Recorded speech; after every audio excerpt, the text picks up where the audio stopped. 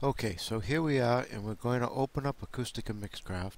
So I'm going to look for my icon, and there it is, Mixcraft 6. I'm going to open it up. It should open up fairly fast. And here we see it's coming up. Now for our first project, and to just get familiar with the Mixcraft, we're going to choose the second option right here, Build Loop and Beat Matched Music and this would be our best choice for actually most of what we do, at least to start off. So we're going to click on this, and of course you're going to get this message if you didn't purchase it, so we're just going to say later, and here we are. Now if you get the demo to come up here, that's fine. Just go up to File, and go to New Project, and we'll start, and we'll clear it out we'll get a brand new project. So here we are. Now the first thing you want to do here is take a look at this screen. You'll see all of these audio tracks that are built in. Of course there's nothing in any of them right now. But each audio track will provide one voice or one sound and then when we add them in piece by piece we will then eventually mix them down to one song that we can save and uh, show to all of our friends and it'll be very exciting. Down here is simply the play and record feature um, but if we look down here this is really where we want to go. You'll see that you have four tabs here. The project tab, the sound tab, the mixer which shows you a good old-fashioned mixer and then the library tab. Now here's where we want to concentrate. Mixcraft gives you a whole bunch of built-in tracks that you can use.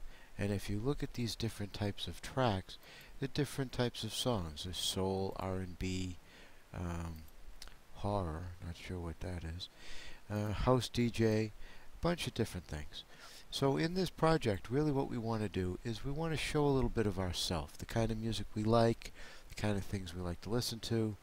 So really it's an experimentation challenge for you to just go simply through these things and pick out something that you think really tells who you are. Now for me, I'm just going to choose the classic rock as an example. And now if I choose that, you'll see that all of these tracks or riffs are built in for classic rock.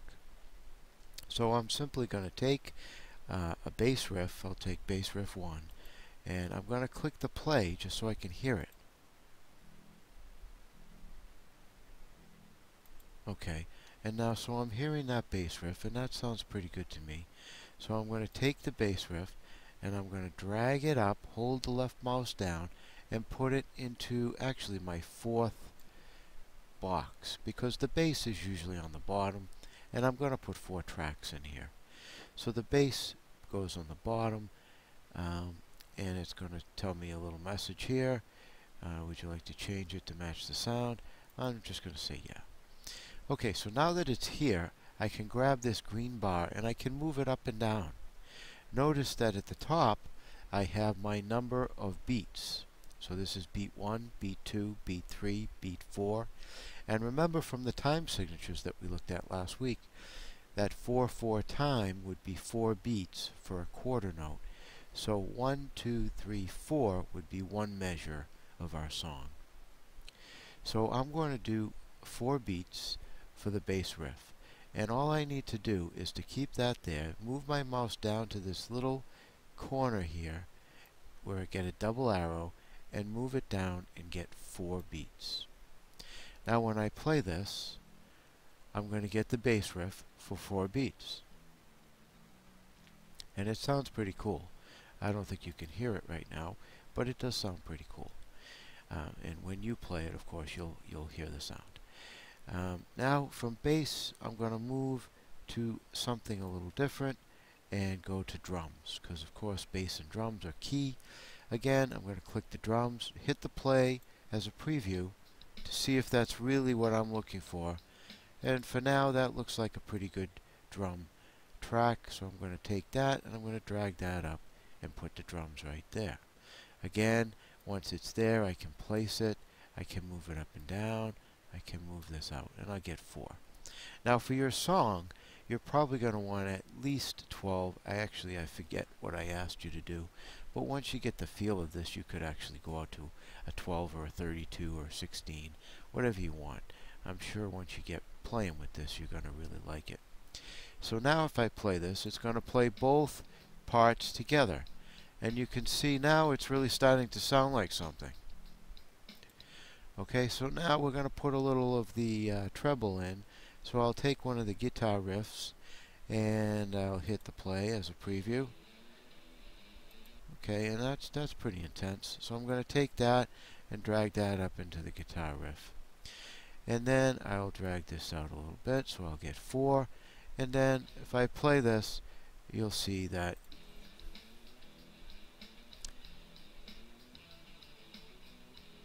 you're really starting to get some some sound here. Now, as as um, as you add the tracks, you can put in, take out as you want. If you go up to this edit here, this gives you options where you can split tracks, you can cut tracks. For instance, if I want the guitar riff to play for two beats, and then I want it to stop, and then play again on the fourth beat, what I can do is I can go up here and click on this guitar riff, and then I can hit edit, and I can split the track. And basically what that does is cuts it in half. And the shortcut for that, as you saw, is split Control T. So instead of going to the menu, you can simply click on the track, find the position, and hit Control T. And now I can just drag this out to the fourth beat, and then I'll get space, or I'll get rest here, and then I'll put it in. Now, play with this, play with all of these libraries, see what it does give you, and I think you'll really be impressed. In fact, you may even get to the point where you're so inspired that you want to actually record yourself singing which of course you can do. Um, once you get four or five tracks in place, a, a lengthy song, then what you want to do is mix it down to a an MP3. And the way to do that is to just go to File, Mix down to MP3. And then you should have your file. And then, of course, after we learn how to put it up on our Google page, you'll put it up on your Google page and so for everyone to, to view it or listen to it. Um, there is one other thing that I want to tell you about and that is on these tracks if you notice when I put my mouse on these tracks I get this little blue circle with a line and a blue circle. And what this does is this lets you adjust the level of the sound for the track. So if you did want these drums to come in softly you could bring it down here. And then by just clicking on the line you could actually adjust the intensity or the or the loudness of that track. And so you could get some real good accents on your drums by doing this. And of course every track will allow you to do this. So what have we learned? We've learned how to get into Mixcraft. We've learned how to add some tracks from the library. We've learned how to adjust the sound quality or the sound levels within each track. We've learned how to split the track with Control T. We've learned how to play record. And then finally we've learned how to file and mix down to our MP3 which is our final goal. So have fun with this, experiment, play around, and I'll be listening to your songs. Take care. Bye-bye.